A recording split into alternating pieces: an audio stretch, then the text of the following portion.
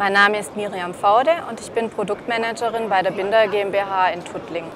Die Binder GmbH ist Spezialist für die Herstellung von Simulationsschränken für das wissenschaftliche, aber auch für das industrielle Labor. Ich möchte Ihnen heute unseren Wechselklimaschrank MKFT 240 vorstellen. Dieser Materialprüfschrank wird unter anderem in der Automobilbranche, aber auch gerne in der Elektronikbranche zum Testen eingesetzt der verschiedenen Materialien.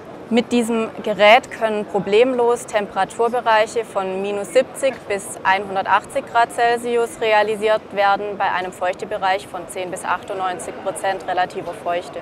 Durch seine standardmäßig hohen Wechselraten von 5 Kelvin pro Minute wird das Gerät zum absoluten Spezialisten für normgerechtes Prüfen.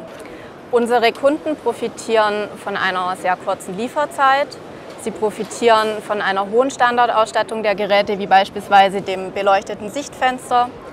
Und unsere Kunden profitieren von zuverlässigen und reproduzierbaren Testergebnissen.